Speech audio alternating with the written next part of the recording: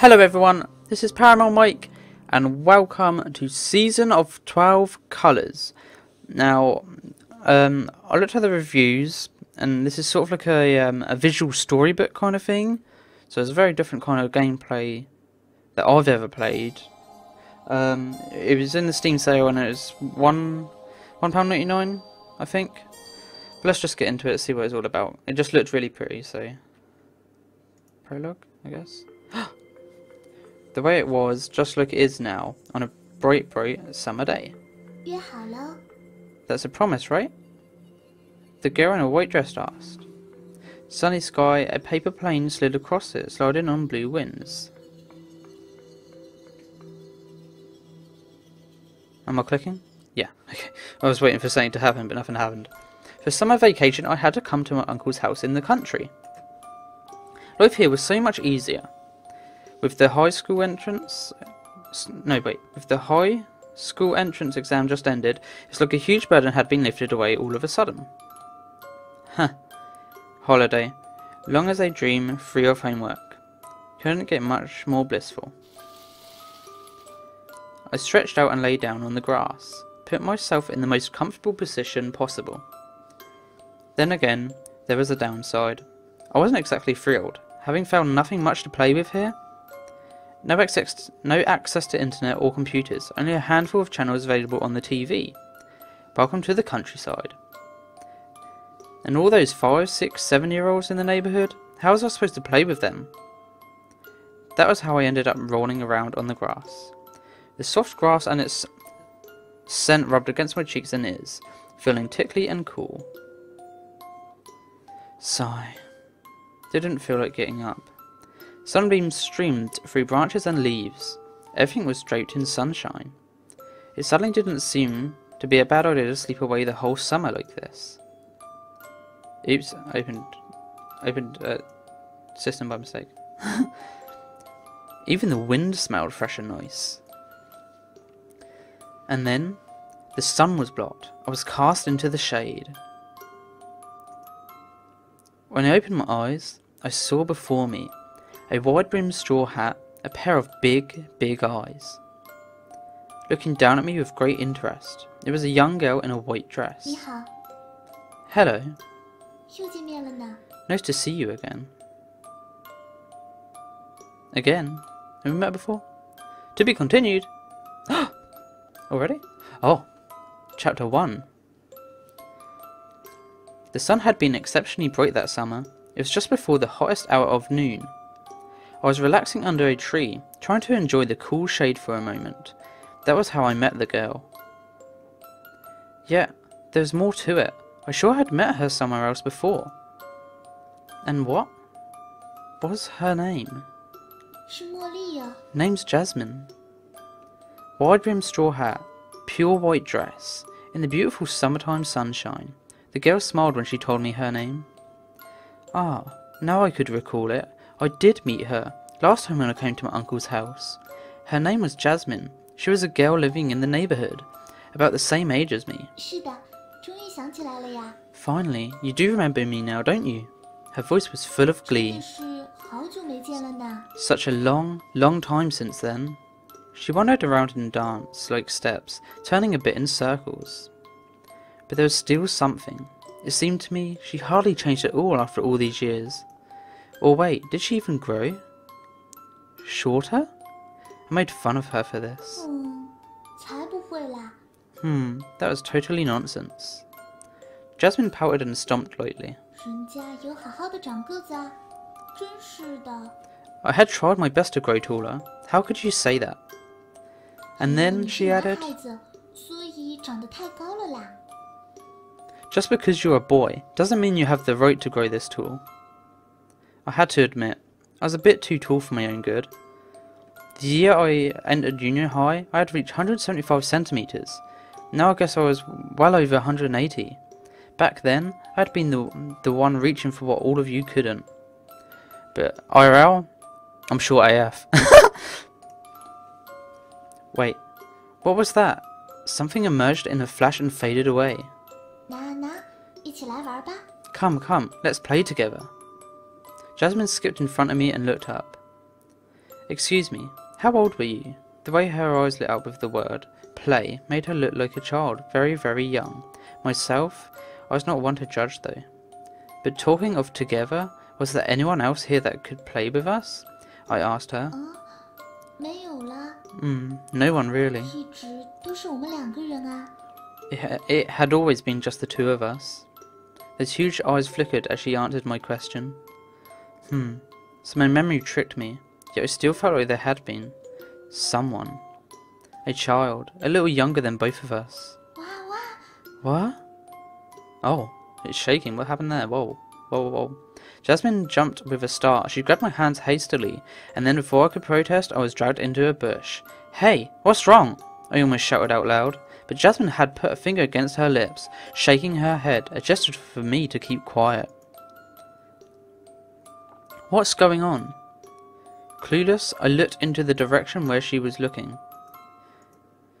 There were no tigers or bears that, that happened to walk by, not even agricultural trackers, whatever that word is. Just a bunch of kids, seven, eight year olds, chattering, they ran off. Huh. The kids went out of sight. The girl beside me let out a sigh in great relief. Hey, don't tell me you had to hide from them. Just a bunch of kids. Jasmine came back out on her hands and knees. She looked a bit embarrassed when she put her hand on her straw hat to keep it from falling. What do you mean, yes? Had she not been such a little girl, I would have flicked her on the forehead. How come she gets so scared by kids so much younger than herself? Couldn't believe it.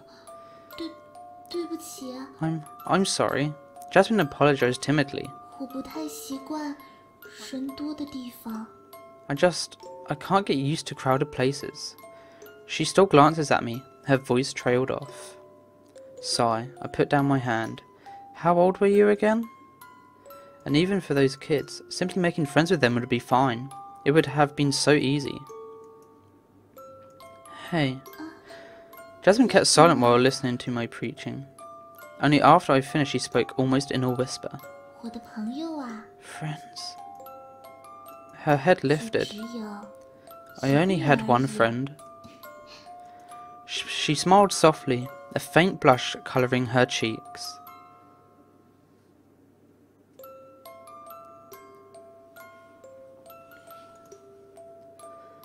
Chapter 2 A summer day, just like it always had been. The sun was so bright. Cicadas, cicadas wouldn't stop singing. I'm guessing that's some kind of foreign bird that is not in the UK. oh, what happened?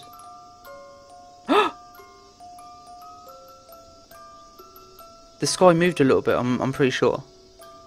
Did we zoom in a little bit? I think we zoomed in a little bit there. I don't know. I hurried home to finish my lunch, and then had to run here again in a rush. Just ask me whose fault it was. Come here, come here! The girl waving at me, her name was Jasmine. She lived nearby and was about the same age as me. Without many other friends to play with, she usually just followed me around. Even on such a scorchingly hot summer's noon, there's no exception. The drowsiness started to sink in after I had lunch. All I wanted was to take a nap. By the way, had it not been her saying, You have to come, I have something nice to show you, there's no way I would have come out under the blazing sun, as if I had nothing better to do. I did did wish they would she would tell me how much further we had to walk. For some reason, the scenery felt completely unchanged to me. Were we just going round and round in circles? This was like the first scene that it showed, right? Jasmine looked back at me and smiled. She had been leading us around in the woods, skipping and ducking to get through. We were almost there. The moment her words reached me, the view expanded before us. Oh, ripples! Yo, look at the flowers. I never knew there was a place like this within the woods. The air was filled with the sweet scent of wild flowers and grass, a wide clearing. The sky was merely a circle, surrounded by a grove of trees, covering everything like a dome. And just like in the fairy tales, in the middle of the clearing, there stood a little wood house. right here! Jasmine turned around. This is my secret base. Her face brightened up as she introduced me to her great treasure.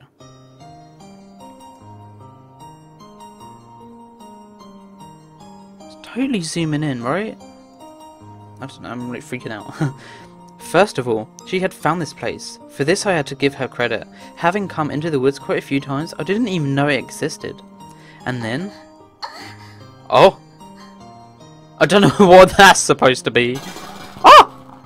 Couldn't help but wonder what the girl was doing in there.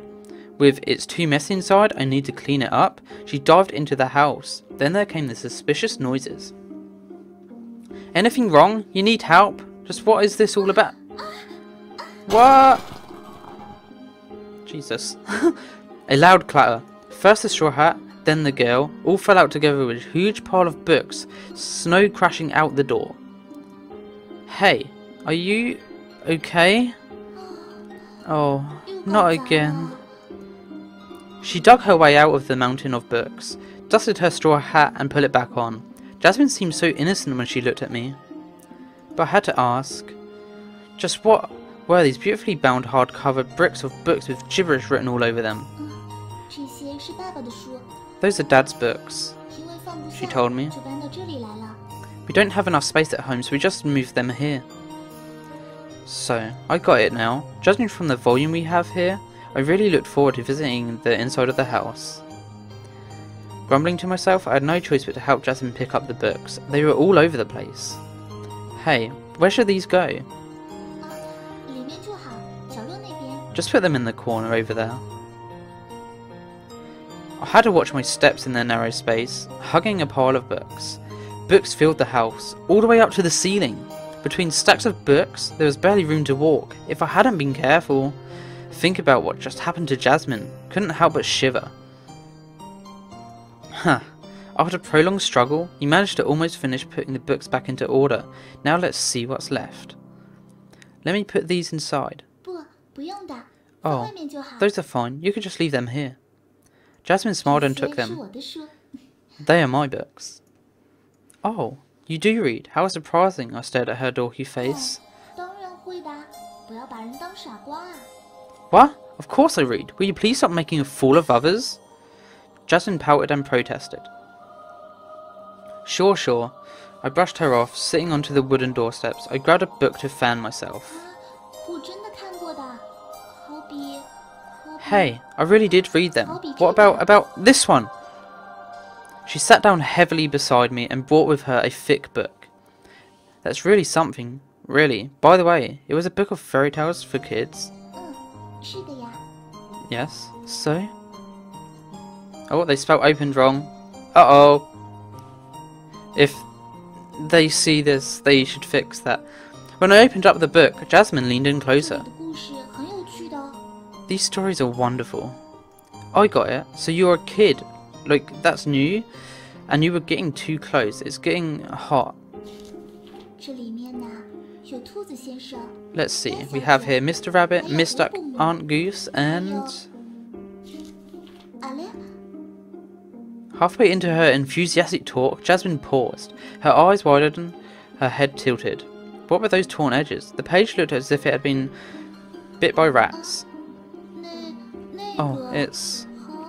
When I was little, I tore off a piece of paper from the page to make a paper plane. Could be something like that.